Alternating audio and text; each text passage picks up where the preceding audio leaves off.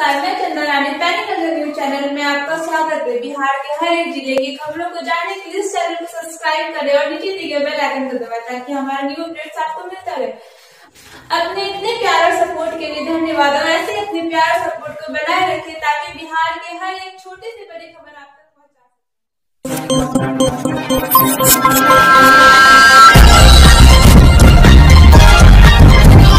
आप देख रहे हैं टर्नी नज़र न्यूज़। खबर भी असर भी अपडेट न्यूज़ की प्रायोजक है आईटी स्पार्क सॉल्यूशन अपने व्यवसाय को आगे बढ़ाने का एकमात्र ज़रिया।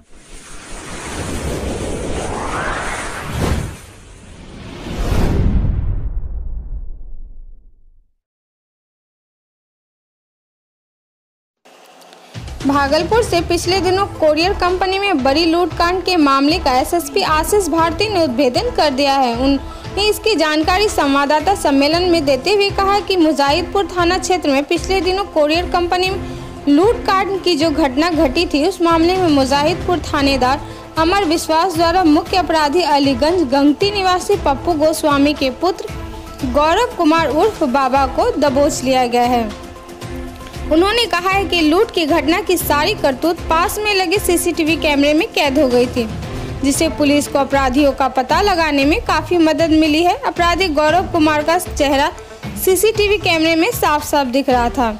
एसएसपी की माने तो गौरव कुछ दिन पहले ही जेल से बाहर आया है। पूर्व में आठ केसों में वह शामिल रहा है। एसएसपी ने दावा किया कि जल्द ही कोरियर लूट कांड में शामिल गौरव के अन्य साथियों को भी गिरफ़्तार कर लिया जाएगा। की मौत के मामला था, उसमें क्या कार्रवाई की गई है? पुलिस को ऐसी सूचना मिली थी कि चिकनपुर के पास जो एक क्लिनिक है, वहाँ पे एक मरीज़ की मौत के बाद कुछ लोग हंगामा कर रहे हैं। पुलिस उप सूचना पर तुरंत घटनास्थल पर पहुँची थी और वहाँ पे शांति व्यवस्था सुनिश्चित किया गया उसके बाद जो वहाँ पे जो मरीज़ के परिजन हैं, उनके द्वारा यह एक आवेदन दिया गया है डॉक्टर की लापरवाही की बात कही गई है। पुलिस उस मामले में आवेदन के आधार पर मामला दर्ज करके अनुसंधान कर रही है और जाँच के कार्रवाई की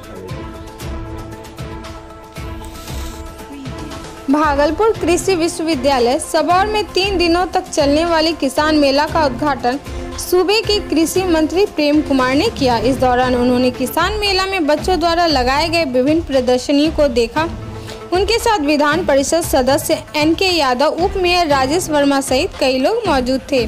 किसान मेला के उद्घाटन के दौरान कृषि मंत्री ने कहा कि सूबे के साथ साथ देश भर के किसानों की आय को दुगना करना भारतीय जनता पार्टी का पहला लक्ष्य है। उन्होंने कहा कि प्रधानमंत्री सदैव किसानों की आय को बढ़ाने और किसानों को सम्मान दिलाने के लिए तत्पर रहते हैं।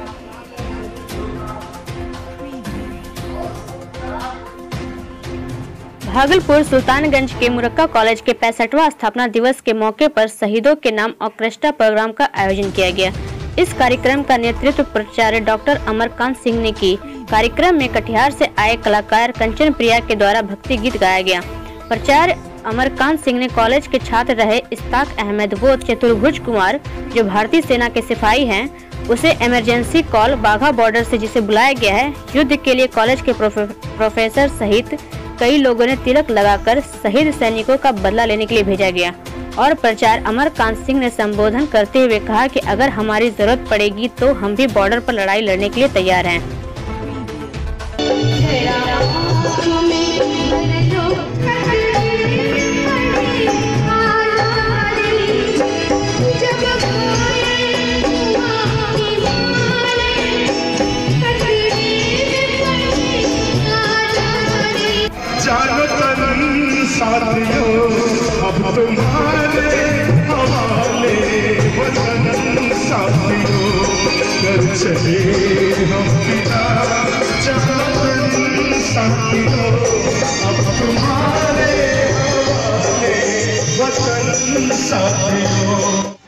लोकसभा चुनाव की तैयारी को लेकर भागलपुर सुल्तानगंज में जदयू कार्यकर्ताओं का बैठक का आयोजन किया गया। इस बैठक की अध्यक्षता प्रखंड अध्यक्ष रवि कुमार रवि ने की बैठक। मुख्य अतिथि विधायक सुबोध राय, जिला अध्यक्ष विभूति गोस्वामी थे। बैठक के दौरान विधायक सुबोध राय ने बताया कि आगामी 28 फरवरी को बांका में सम्मेलन होना है और 3 मार्च को पटना में संकल्प रैली है। इसी के तैयारी को लेकर बैठक किया गया। जिसमें पंचायत वार्ड से अधिक से अधिक की संख्या में रैली में पहुंचकर सफल बनाया गया। जाए इस बैठक में भीड़ खुद के विवेकानंद सिंह को सदस्यता ग्रहण करवाया गया। बैठक में परिषद सदस्य doctor Vijay Singh professor doctor Babuanand Singh S K programmer professor Lalit Mandal एवं तमाम जदयू कार्यकर्ता मौजूद थे। और सर यहाँ से दो लोग जो है यहाँ से सरहद पर गए। हैं उनके क्या उसके लिए हम लोगों ने दो मिनट का कर पहले श्रद्धांजलि दिए तब कार्यक्रम की शुरुआत। शहीदों को साथ शहीद और ख़ास तौर से सुल्तानगंज प्रखंड से बड़ी संख्या में हमारे कार्यकर्ता फ़ील्ड मार्च की रैली में, जो एनडीए की रैली है, जिसमें माननीय प्रधानमंत्री श्री नरेंद्र मोदी जी, हमारे राष्ट्रीय अध्यक्ष और राज्य के मुख्यमंत्री आदरणीय नीतीश कुमार जी, लोजपा के प्रदेश अध्यक्ष आदरणीय पारसनाथ जी और भाजपा के राष्ट्रीय अध्यक्ष आदरणीय अमित शाह जी, ये चारों जो है मुख्य अतिथि रहेंगे, मुख्य वक्ता भी रहेंगे। तो ये पूरी एनडीए की रैली आगामी चुनाव में अपना संघनाद मजबूती से करने के लिए ये महासंग्राम में बड़ी से बड़ी जीत हासिल करने के लिए उसमें हमारे यहाँ से बहुत बड़ी संख्या में लोग जाएँगे।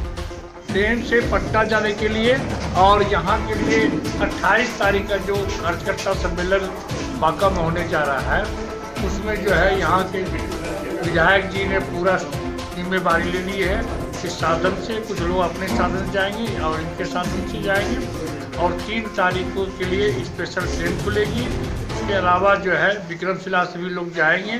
जी जिनकी पूरी व्यवस्था वहाँ पर पटना में होगी, पार्टी की ओर से और हमारे विधायक जी की ओर से। वहाँ पर सब्ज़ी का इंतज़ाम है, जो कि गठबंधन का वहाँ पर गांधी मैदान में तीन तारीख को ग्यारह बजे दिन में सम्मेलन होने जा रहा है। पूर्व मध्य रेलवे के समस्तीपुर मुख्यालय स्थित समस्तीपुर जंक्शन प्लेटफॉर्म नंबर चार से समस्तीपुर सिवान पैसेंजर ट्रेन आज अपराह्न तीन बजे समस्तीपुर प्लेटफॉर्म से खुलते ही गाड़ी का पिछला दो बॉगी पटरी से नीचे उतर गया, जिस कारण भीषण रेल हादसा होते होते बच गया। घटना उस समय हुई जब स्टेशन से गाड़ी खुली थी। प्लेटफॉर्म से मात्र 100 मीटर की दूरी पर जाते जाते यात्रियों में हलचल और भगदड़ मच गया। देखते ही देखते कई लोगों ने ट्रेन से छलांग लगा दी। वहाँ घटना की जानकारी मिलते ही समस्तीपुर मंडल के तमाम बड़े अधिकारी घटनास्थल पर पहुंचकर जाँच कर रहे हैं। घटना के कारण प्लेटफॉर्म नंबर चार और पाँच पर ट्रेनों की आवाजाही बंद हो गई है। इस दुर्घटना के कारण कई दूरागामी ट्रेन प्रभावित होने की संभावना है। घटना की जाँच पड़ताल किया जा रहा है। आखिरकार किस कारण गाड़ी पे पटरी हो गई है? लखीसराय केवल छात्राओं की परीक्षा के लिए बनाया गया आदर्श परीक्षा केंद्र राज्य के कृत प्लस टू उच्च विद्यालय बढ़िया में विभागीय लापरवाही के कारण दो छात्र परीक्षा दे रहे हैं। विभागीय लापरवाही ने छात्र को छात्रा बना दिया है। दोनों के प्रवेश पत्र पर पुरुष की जगह महिला लिख दिया गया है। उच्च विद्यालय खुटहा के छात्र राजकुमार और रोशन कुमार बताते हैं कि उनके प्रवेश पत्र में पुरुष की जगह महिला लिखा है। जिस वजह से उनका परीक्षा केंद्र राज्य के कृत उच्च विद्यालय बढ़िया दिया गया। जहाँ सिर्फ़ छात्राओं का परीक्षा केंद्र है ऐसे में परीक्षा देने में काफ़ी परेशानियों का सामना करना पड़ रहा है। दो विद्यालय के प्रचारक बताते हैं कि इसकी सूचना जिला शिक्षा पदाधिकारी को दे दी गई है। फ़िलहाल दोनों छात्र को इसी केंद्र में परीक्षा ली जा रही है। सेंटर कहाँ पड़ा है? यहाँ पे सिर्फ़ महिला का सेंटर है। तुम लोग इसी के पीछे बिहार की हर एक ज़िले की खबरों को जानने के लिए इस चैनल को सब्सक्राइब करें। साथ ही घंटी को भी दबाएँ, जिससे हमारा वीडियो अपलोड होते ही आपको जानकारी मिल सके।